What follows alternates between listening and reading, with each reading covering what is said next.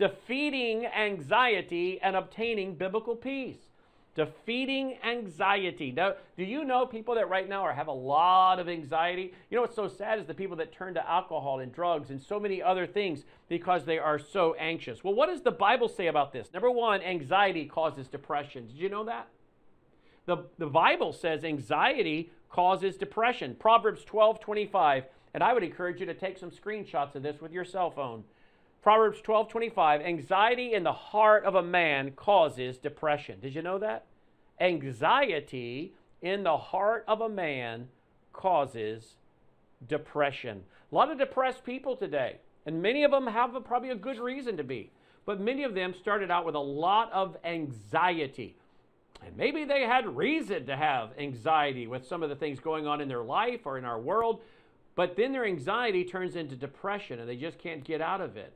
Well, let me see if I can offer you some hope tonight. But understand Proverbs 12 25, anxiety in the heart of a man causes depression. Well, you know what brings anxiety? Worry. Worry brings anxiety. So we say number one, anxiety causes depression. Number two, worry brings anxiety. Luke 12, 22, 31. Then he said to his disciples, Jesus speaking, Therefore I say to you, do not worry about your life, what you will eat, nor about the body, what you will put on. Life is more than food, and the body is more than clothing. And then we can see from the scriptures consider the ravens, for they neither sow nor reap, which have neither storehouse nor barn, and God feeds them. Of how much more value are you than the birds? And which of you, by worrying, can add one cubit to his stature? It's really in translation, any time to his life. Now, this isn't saying don't make preparations. No, the Bible actually can't contradict itself, and yet the Bible says to look at the animals, look at the ant, how it prepares in the summer for the winter. So the Bible speaks about saving, putting away. We see Joseph putting away in the years of plenty for the years of famine. But there's a difference between planning and worrying. So you can plan without worrying. He doesn't say don't plan, but he says don't worry about your life, what you will eat, nor about the body, what you will put on. He didn't say don't plan for what you'll eat or what you'll put on. Don't worry about it. Don't fret about it. Don't be anxious about it. It doesn't say you can't prepare, you can't put away, you can't be prepared for hard times. No. It's saying don't sit around worrying. You know what takes away a lot of worrying? When you are prepared. You know that? When you're prepared and you put away and you save and you conserve and you put away for hard times, guess what? That takes away a lot of your worry and anxiety because you've made preparations. And you can now say, Well, I've done the best of my ability to prepare, but at the end of the day, we'll put our faith and trust in God. I've never seen the righteous forsaken. So people point to this verse and say, Well, see, God tells you don't worry about preparing for anything. No, that's not what it's saying. Don't worry about it. One great way to not worry is actually prepare for what it is you're worried about. Then you can have some peace and comfort, knowing that you've been wise. A prudent man sees danger and takes refuge, but the fool ignores it and suffers, the Bible says. Then it goes on in the scriptures to say there in Luke, then if you are not able to do the least, why are you anxious? So here's that anxious, anxious. Someone's anxious, anxiety brings depression. Why are you anxious? For the rest. Consider the lilies, how they grow. They neither toil nor spin. And yet I say to you, even Solomon in all his glory was not arrayed like one of these. If then God so clothes the grass, which today is in the field and tomorrow is thrown into the oven, how much more will he clothe you, O you of little faith? So God will provide. God will provide. Here's the question What are you doing with what he's provided? What are you doing now with what he has provided you with? So if God has provided for you a means by which to take care of some needs in the future that you think might come about, then use those things He's provided to you wisely. So, again, a lot of the reasons we have worry or anxiety or find ourselves in a bad spot is because we haven't been good stewards. We haven't prepared. Be a good steward, prepare, put away, make provisions, and you'll see a lot of your worry, which turns into anxiety, disappear. And do not seek what you should eat or drink, what you should drink, nor have anxious mind. They Don't have an anxious mind. Okay? So I can I can put away, I can prepare, I can make preparations, but I can do it not from an anxious, fearful mind. I can do it from a common sense mind, a mind that is prudent, being sensible. For all these things the nations of the world seek after, and your Father knows that you need these things. But seek the kingdom of God and all these things shall be added to you. So here you go. Seek after God. Seek after God. Seek after the kingdom of God, the things of God. And guess what? These things will happen, they'll, they'll be provided to you. He'll, he'll give you what you need, when you need it, the provisions you need to have the clothes and the food and the things that you need. So, if God has provided for you with resources and you're concerned about the future, then don't be anxious and worry. Take what God's given you, use your money wisely, be a good steward, make preparations, and then stop worrying. Then just trust. I've done all I can do, Lord. I'm a good steward, and I'm counting on you and having faith in you. I did what was responsible, what I think you would have me to do with the resources you've given me. And now I'm going to ask you for peace. Look at Luke 12, 22 to 32. Do not worry. Verse 25. Which of you by worrying? Verse 26. Why are you anxious? Why are you anxious? Rest. Do, do, don't have an anxious mind. So we have three wrong priorities bring despair. Wrong priorities bring despair. Luke 12 34. For where your treasure is, there your heart will be also. Are your priorities right? Because if your priorities are wrong, that can bring despair. Peace is taken by a quarrelsome home. If you've got teenagers, you've known this at some point, right? Peace is taken by a quarrelsome home. Try to make your home a place of sanctuary, of peace, no drama. That's kind of our saying around here. Peace is taken by quarrelsome home or quarrelsome workplace, work environment.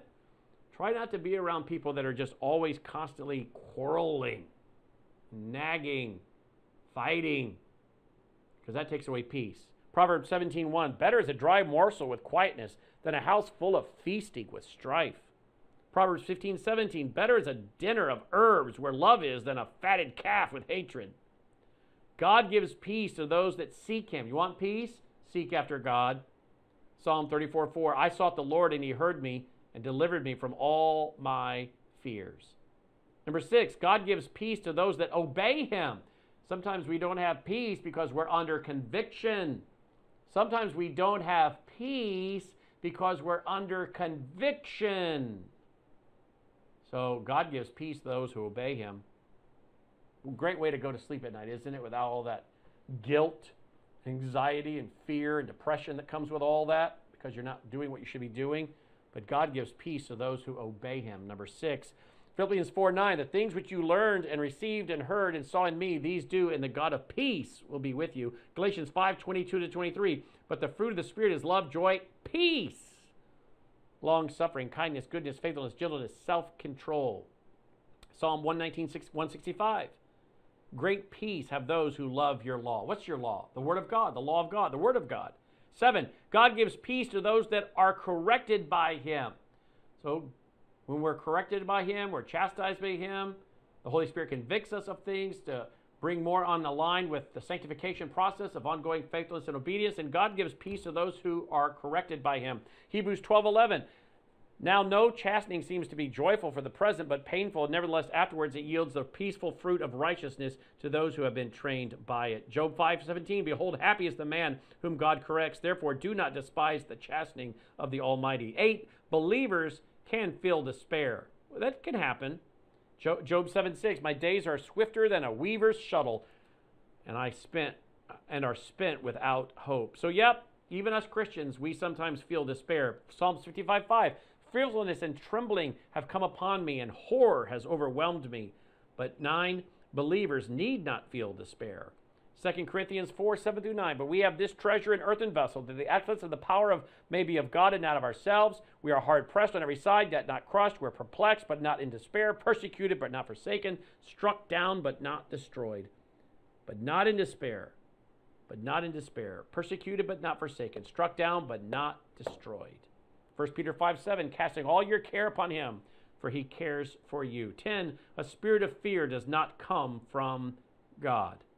2 Timothy 1 7, for God has not given us a spirit of fear, but of powerful and uh, but of power and love and of a sound mind. Number 11, God is aware of our despair and anxiety and offers a solution. Philippians 4 6 through 7. Be anxious for nothing, but in everything, by prayer and supplication with thanksgiving, let your requests be known to God. Take to God what is your concern. Take to God what is your fear. Take to God what is your despair. Take to God what you're anxious about. Don't be anxious about it, but by but in everything, in everything by prayer and supplication. And the peace, what does it say will happen when you do that? And the peace of God, which surpasses all understanding, will guard your hearts and minds through Christ Jesus. 12, God is in our God, our hope is in God.